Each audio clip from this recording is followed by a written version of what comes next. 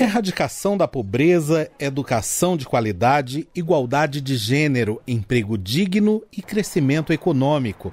Esses são alguns dos 17 Objetivos de Desenvolvimento Sustentável adotados pelo Brasil em 2015, durante a cúpula das Nações Unidas, a ONU.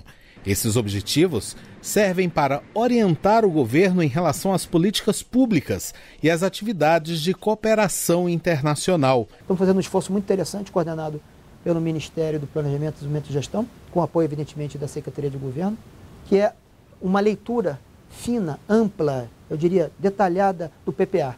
O PPA, esse é o nosso plano plurianual que a, quatro anos, a cada quatro anos estabelece a programa, programação do governo brasileiro. Portanto, a primeira atitude é o que, que os objetivos, os 17 objetivos né, e 169 metas, o que, que eles dialogam com o PPA e como é que o PPA se reflete nos 17 objetivos e 169 metas. O Brasil apresentou um relatório sobre como está a adoção na prática dos Objetivos de Desenvolvimento Sustentável. A prioridade da sociedade brasileira, do Estado brasileiro, né, a, combate à pobreza, né, sobretudo combate à fome. Né. As reformas são fundamentais no Brasil.